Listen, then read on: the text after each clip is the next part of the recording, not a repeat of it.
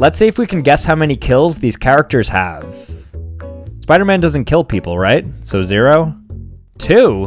Who are the two? SpongeBob has done some shenanigans. He's probably killed a few people. I'll say five. 113?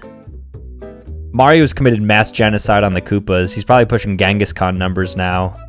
Yeah, 40 million's wild. Light probably killed like 10% of Tokyo, so what's that, like 2 million people? 125,000, okay, not that bad. I don't watch the show, but I know he like plays with dimensions, so probably billions of people, I'd guess. Okay, there we go. Shrek has definitely massacred like 100 people on his journey. Okay, fairly close. I would be surprised if Mickey Mouse killed anyone, but I'm sure he slipped up in his Steamboat Willie days. 45?